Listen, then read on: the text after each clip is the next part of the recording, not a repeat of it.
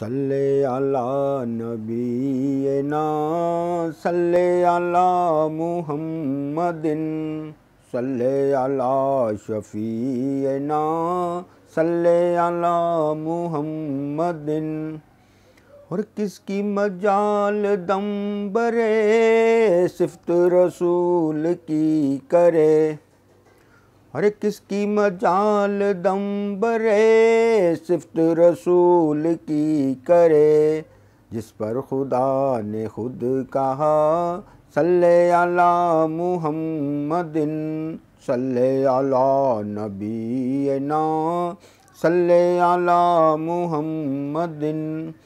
और पूछेगा मुझसे, जब खुदा कम किया है, नेक क्या?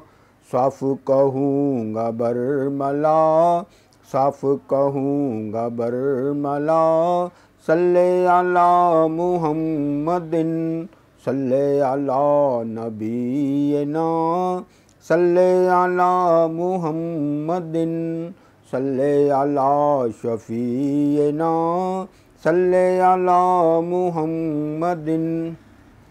औज़बिल्लिमिनशैतवानरजीम बिस्मिल्लाहिर्रहमानिर्रहीम ਮੇਰੇ ਇਸਲਾਮੀ ਭੈਣ ਭਰਾਓ ਅੱਜ ਤੁਹਾਨੂੰ ਮੈਂ ਉਹ ਦੱਸਣ ਲੱਗਾ ਵਜ਼ੀਫਾ ਜਿਹੜਾ ਤੁਸੀਂ ਕਹਿੰਦੇ ਹੋ ਨਾ ਜਦੋਂ ਕਲਬ ਜਾਰੀ ਹੋ ਜੇ ਉਸ ਤੋਂ ਬਾਅਦ ਇਹਨੂੰ ਇਹਦੀ ਤਰੱਕੀ ਆਸੇ ਕੁਰਬ ਅੱਲਾ ਦਾ ਜ਼ਿਆਦਾ ਮਿਲੇ ਉਹਦੇ ਲਈ ਕੀ ਕਰਨਾ ਚਾਹੀਦਾ ਪਹਿਲੇ ਤਾਂ ਤੁਹਾਨੂੰ ਮੈਂ ਦੱਸਾਂ ਜਿਹੜਾ ਵੀ ਤੁਸੀਂ ਪੜ੍ਹਾਈ ਕਰਨੀ ਕੁਰਾਨ ਦੀ ਕਰਨੀ ਹੈ ਜਿਹੜੀ ਵੀ ਸੂਰਤ ਪੜ੍ਹਨੀ ਉਹਦੇ ਲਈ ਪਹਿਲੇ ਤੁਸੀਂ ਆਪਣਾ ਕਲਬ ਜਾਰੀ ਕਰ ਲੋਗੇ ਤੇ ਤੁਹਾਡੀ ਜ਼ੁਬਾਨ 'ਚ ਨੂਰ ਪੈਦਾ ਹੋ ਜਾਏਗਾ। ਜਦੋਂ ਕਲਬ ਜਾਰੀ ਹੁੰਦਾ ਹੈ, ਸੀਨਾ ਪਾਕ ਸਾਫ਼ ਹੋ ਜਾਂਦਾ ਹੈ, ਫਿਰ ਉਸ ਤੋਂ ਬਾਅਦ ਜਦੋਂ ਵੀ ਇਨਸਾਨ ਪੜ੍ਹਦਾ ਚਾਹੇ ਤਿੰਨ ਦਫਾ ਸੂਰਤ ਪੜ੍ਹੇ, ਜਿਹੜੀ ਵੀ ਪੜ੍ਹੇ ਉਹਦੀ ਇੰਨੀ ਕੁ ਤਾਕਤ ਵੱਧ ਜਾਂਦੀ ਹੈ।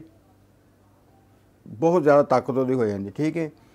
ਪਹਿਲੇ ਨੰਬਰ ਤੁਹਾਨੂੰ ਦੱਸਿਆ, ਘੱਟ ਤੋਂ ਘੱਟ ਦਿਹਾੜੀ 'ਚ 70000 ਜਾਂ 90000 ਜਾਂ 1 ਲੱਖ, ਸਵਾ ਲੱਖ ਤੱਕ ਯਾਨੀ ਕਿ ਜ਼ਿਕਰ ਬੰਦੇ ਨੂੰ ਕਰਨਾ ਚਾਹੀਦਾ ਹੈ, ਜਿਨ੍ਹਾਂ ਨੇ ਆਪਣੀ ਜ਼ੁਬਾਨ 'ਚ ਜ਼ਿਕਰ ਪੈਦਾ ਕੀਤਾ, ਜਿਨ੍ਹਾਂ ਦਾ ਕਲਬ ਜਾਰੀ ਹੋਇਆ ਹੈ। ਤੇ ਕਲਬ ਜਾਰੀ ਕਰਕੇ ਤੁਹਾਨੂੰ ਮੈਂ ਦੱਸਿਆ, ਜਦੋਂ ਕਲਬ ਜਾਰੀ ਹੋ ਜਾਂਦਾ ਤੇ ਆਵਾਜ਼ ਕਿਹੜੀ ਆਂਦੀ ਹੈ ਵੀ ਤੁਹਾਨੂੰ ਮੈਂ ਦੱਸਿਆ ਹੈ। ਸਾਹ ਨਾਲ ਅੱਲਾ ਅੱਲਾ ਕਰਨੀ ਹੈ, ਸਾਹ ਨਾਲ ਪਕਾਣਾ ਅੱਲਾ ਅੱਲਾ। ਜਦੋਂ ਪੱਕ ਜਾਂਦਾ ਫਿਰ ਆਵਾਜ਼ ਐ ਆਂਦੀ ਹੈ। ਤੁਹਾਨੂੰ ਮੈਂ ਅੱਗੇ ਵੀ ਸੁਣਾਈ, ਫਿਰ ਸੁਣਾਣਾ ਪੜਨਾ ਕਰਨਾ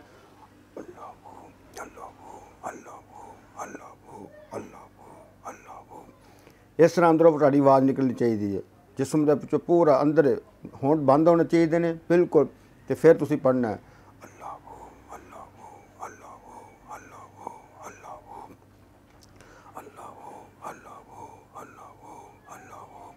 ਦੋਸਤੋ 1 ਘੰਟੇ ਦੇ ਵਿੱਚ ਤੁਸੀਂ ਘੱਟ ਤੋਂ ਘੱਟ ਇਹਨੂੰ 6000 ਦਫਾ ਪੜਿਆ ਜਾਂਦਾ ਜਿਹਦਾ ਕਲਬ ਘੱਟ ਜਾਰੀ ਨਹੀਂ ਜਾਰੀ ਹੋਇਆ, ਉਹ ਘੱਟ ਤੋਂ ਘੱਟ ਜਿਹਨੇ ਕਿ 4000 ਦਫਾ ਪੜ੍ਹ ਹੀ ਲੈਂਦਾ ਜਿਹਦਾ ਜਾਰੀ ਹੋ ਜਾਂਦਾ, ਉਹ 6000 ਤੋਂ ਲੱਗ ਕੇ 6600 ਦਫਾ ਤੱਕ ਇਹਨੂੰ ਪੜਦਾ ਜ਼ਿਕਰ ਹੁੰਦਾ ਹੈ। ਤੇ 12 ਘੰਟੇ 12 ਛਿਕਾ 72 72000 ਦਫਾ ਤੁਸੀਂ ਸਿਰਫ 12 ਘੰਟੇ ਤੁਸੀਂ ਜ਼ਿਕਰ ਤੁਹਾਡਾ ਹੋ ਜਾਂਦਾ ਤੇ ਤੁਹਾਡੀ ਜ਼ੁਬਾਨ ਇੰਨੀ ਕਿ ਤਾਸੀਰ ਆਂਦੀ ਇੰਨੀ ਕਿ ਤਾਸੀਰ ਜਿਹੜੀ ਵੀ ਸੂਰਤ ਕੁਰਾਨ ਦੀ ਪੜੋਗੇ ਨਾ, ਕੁਰਾਨ ਸਾਰਾ ਨੂਰਮ ਨੂਰ ਹੈਗਾ ਜੀ।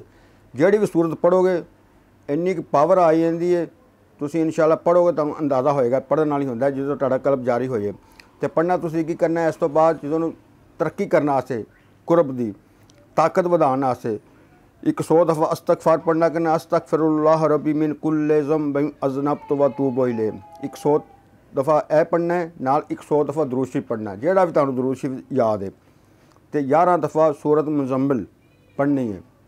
ਇਨਸ਼ਾ ਅੱਲਾਹ ਤਾਲਾ ਤੁਹਾਡੀ ਜ਼ੁਬਾਨ 'ਚ ਐਡੀ ਤਾਸੀਰ ਆ ਜਾਏਗੀ, ਜਿਹੜਾ ਤੁਸੀਂ ਚਾਹੋਗੇ, ਜਿਸ ਕੰਮ ਲਈ ਪੜਨਾ ਚਾਹੋਗੇ, ਹਰ ਮੁਸ਼ਕਲ ਤੁਹਾਡੀ ਇਹਦੇ ਨਾਲ ਦੂਰ ਹੋਏਗੀ।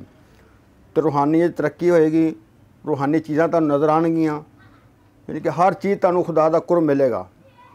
ਇਹਨੂੰ ਫਿਰ ਪੜੋ ਫਿਰ ਬਾਬੇ ਆਬਦ ਨੂੰ ਇਨਸ਼ਾਅੱਲਾ ਤੁਸੀਂ ਦੁਆਵਾਂ ਦੇਣਾ ਯਾਦ ਕਰੋਗੇ। ਤੇ ਔਰ ਖਾਸ ਤੌਰ ਤੇ ਇਸ ਵੀਡੀਓ ਨੂੰ ਸਬਸਕ੍ਰਾਈਬ ਵੀ ਕਰਨਾ, ਜੇ ਲਾਈਕ ਕਰਨਾ ਸ਼ੇਅਰ ਵੀ ਕਰਿਆ ਕਰੋ। ਪੜੋ ਫਿਰ ਬਾਬੇ ਆਬਦ ਨੂੰ ਦੁਆਵਾਂ ਦਿਓ।